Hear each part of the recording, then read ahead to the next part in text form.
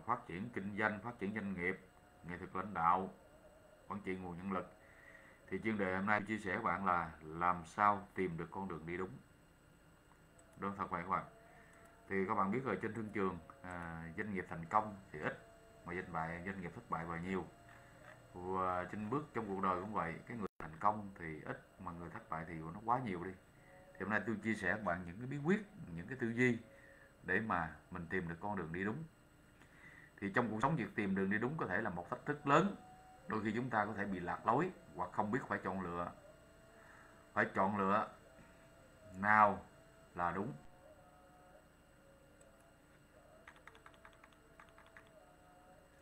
Dưới đây một số bước và lời khuyên để bạn có thể tìm ra đường đi đúng trong cuộc sống và sự nghiệp của mình. Đầu tiên là, thứ nhất là tự nhận biết các bạn bắt đầu việc tự nhận biết hiểu rõ về bản thân bạn sở thích giá trị và mục tiêu trong cuộc sống cũng như là những cái sở đoản những cái nhược hạn chế những cái uh, ưu điểm những cái nhược điểm của bản thân.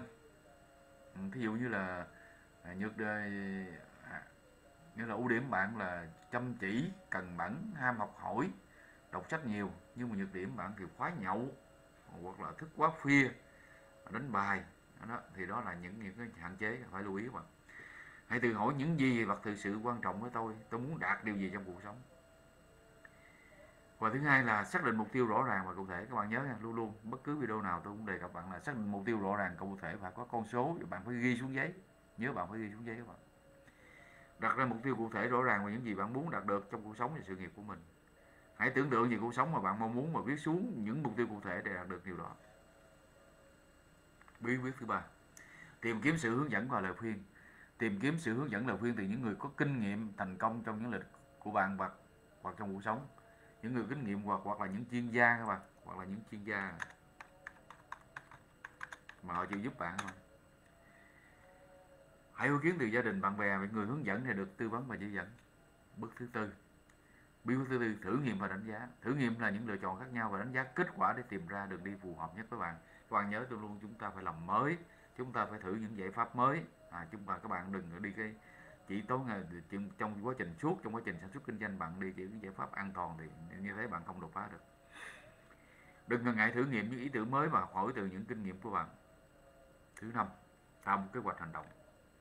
Dựa trên mục tiêu của bạn và lời khuyên đã nhận được hãy tạo ra một kế hoạch hành động cụ thể để đạt được mục tiêu của bạn. Phân chia kế hoạch thành các bước nhỏ và thiết lập các mốc thời gian để đảm bảo tiến triển. Bước thứ sáu.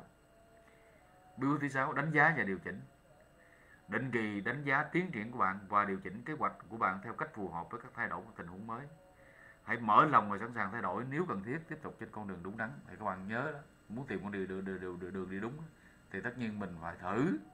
Rồi mình phải đánh giá và điều chỉnh. Mình thử mà mình thấy nó sai sai hoàn toàn thì bỏ làm mới. Còn sai ít thì mình chỉnh sửa sai nhiều mình chỉnh sửa để mình đi đúng cái con đường con đường đi đúng cuối cùng để tìm ra đường đi đúng bạn cần phải tự nhận biết đặt ra mục tiêu cụ thể và tìm kiếm sự hướng dẫn là khuyên từ người khác.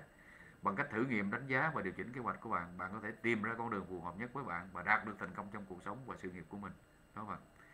Thì à, trên video này tôi vừa hướng dẫn các bạn à, là làm sao để tìm ra được một con đường đi đúng có có nhiều giải pháp nó có khoảng 7 cái cái à, nó khoảng có khoảng có 6 giải pháp. Thì à, các bạn nhớ mà nó nhấn mạnh cho chúng ta là phải thử. Chúng ta phải thử bằng phải thử những lịch mới. Và sau đó bạn điều chỉnh. Đó muốn tìm con đường đi đúng thì bạn phải thử thế thử rồi sau đó bạn điều chỉnh. Cái điều này là là là là là, là, là đúng mà. Đó là chính xác đó, đó là những tư duy đúng. Ha các bạn lưu ý không ạ? Thì bạn muốn phát triển thì bắt buộc bắt buộc bạn phải tìm con đường đi đúng thôi. Điều này là chắc ăn chắc chắn rồi. Không có gì phải bàn nữa bạn đi tìm đi đường sai là bạn không không thành quả và chắc chắn. À, bạn sẽ đổ gãy nữa được à, cảm ơn các bạn đã theo dõi video này.